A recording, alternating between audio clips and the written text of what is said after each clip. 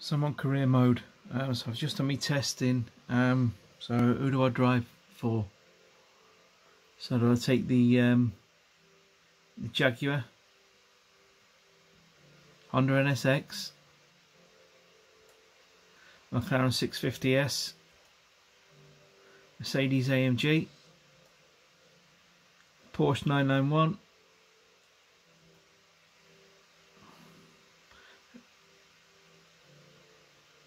Was that the um, is that a Huracan? Reiter Engineering.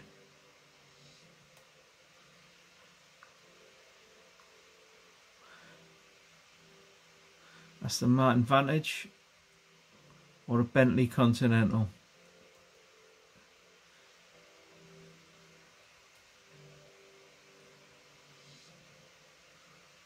Don't know, like a Bentley looks a bit of a beast on it. 2018. I'm gonna go with that bad boy, I think.